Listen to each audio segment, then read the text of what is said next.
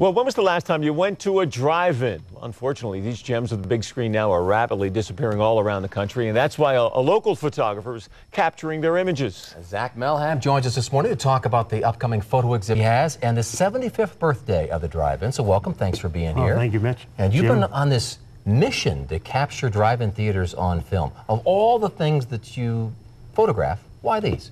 Well, you know, I, I realize that they're vanishing icons of the American West. We travel extensively. We go from Montana to New Mexico, photographing basically Western Americana. And uh, my first drive-in I shot was in Green River, Utah. We were passing through there, caught my eye, and about two years later, we drove back through Green River, and it was gone. Gone, yeah. Yeah, A shopping mall. No, actually, it was a fruit stand. A parking lot. Well, that's not too yeah, bad. so I they, guess. yeah. So, uh, so I told my, my wife, I says, you know, these things are going. We so we better start capturing them, and that's what we did. So for 25 years, I stayed that I stayed focused, and uh, we've captured them, like I said, Montana to New Mexico. Yeah. And I've got a huge, huge portfolio. That really is a mission too, and you also have some memorabilia right there. You have the old uh, Yes. audio box. We all uh, remember Yeah, the old screen. you used yeah, to put on. and Remember that how that would work? You'd put, put, put Yeah. your window down a little bit, and you'd Right. hang it on the side. And, yeah. You had to remember not to drive off with it. And where'd you get this, this old sign? Well, that uh, actually, I've been collecting uh, drive-in memorabilia for uh, as long as I've been taking uh, drive-in photos, and uh, the stuff just kind of falls into my lap. And uh, this is a great one featuring Wild Angels and then drag racing on uh, Sunday afternoon, weather permitting. Drag, racing. from the Fast Men Drive-In. yeah, theater. Where was that? Yeah, uh, that's in uh, North Carolina. Yeah.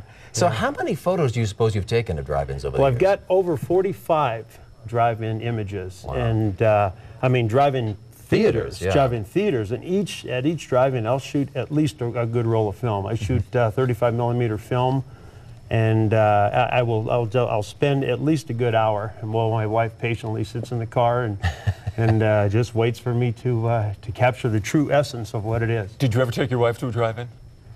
Actually, yes, we did. Yeah, the Starlight, as you were talking about. Was it the about. Starlight? The Starlight Yeah, that was Drive-In my in Blooming- Bloomington, drive-in. Indiana. Wow. Bloomington, Indiana. There were a lot of starlights out there. uh, absolutely. Probably the largest name of all drive-ins. If these things are disappearing so quickly, how were you able to amass such a collection of photographs? Well, what we did in our travels, we, we, when we would travel through towns, our eyes are trained, and we see the white screen tower, and we say, "Oh, bingo, that's it." And uh, we make a beeline, we we for it, and then uh, and then if the drive-in is still there, we will shoot whatever is there, whether it's a screen, whether it's a ticket booth. A lot of times, it's just a marquee. Wow. Well, and what is it about the drive-in? I mean, as a young guy, we had a ton of fun piling everybody in into the trunk, literally, Right, and right. driving in by ourselves Right. and not paying for admission. But there's something else about the drive-in that, that we hold Well, there so was sacred. just there was just something about the baby boomer generation because after World War II is when they really took off. There was almost 5,000 nationwide, and uh, it was a great way for the family to go out together and in the privacy of their own car. Uh, Mom didn't have to cook because of the concession stand. The hot dogs, and the hot popcorn. dogs, the, the popcorn, the the you know the the everything that had to do with with eating and enjoying a, a media experience. It was all right there. yeah, and you may have had a, a playground for the Oh, the kids to go to playground. right in front of the big screen. Yep, if you got there early enough, you got to go to the playground. then it was pajama time, and before you knew it, you're falling asleep in the back seat. Wow. We're getting closer to, because this is a great, great uh, uh, poster you got here. How did the drive-in get started and, and, and what made it explode oh, so? it's, oh, oh, it's just a great story. Uh, this gentleman in 1933, Richard, Richard Hollingshead, in his backyard, he stretched a white screen, uh, uh, canvas, if you will, between two trees.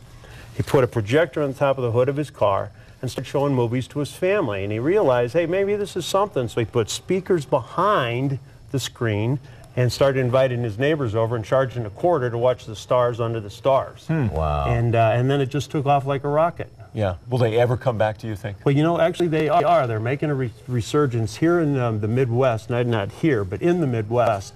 There's, uh, there's several in, uh, in Illinois where, uh, where owners are taking over and uh, refurbishing these old drive-ins and making them look like they used to look. That's awesome.